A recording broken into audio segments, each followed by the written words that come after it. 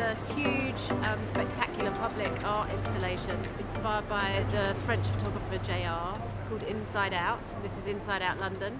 It's part of the Euro 2020 football tournament. We're pasting the whole of Tower Bridge Road today full of portraits, over 1,200 of Londoners from all across the city. The plan is that the public can then come onto the road, spot their photos, maybe spot one or two England players who are in here, try and find the Mayor of London.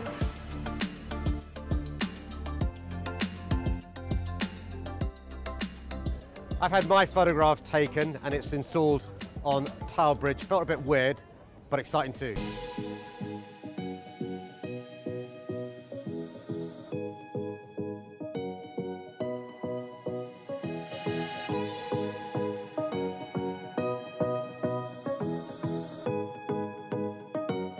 It's so nice to see so many different faces of Londoners. It's one of the coolest things I've seen on the bridge. It's amazing to have the, the, the, authorization to do it and it's a really symbolic action for us because the Tower Bridge is the most famous uh, monument in London. So together, all the people together in the, in the bridge, it's the goal of Inside Out. It's the goal of our action just to, to be able to live all together and, uh, and to do something together. So it's, uh, it's beautiful to be there. History, arts, sports, the Euros 2020 shows the power of these things bringing us together.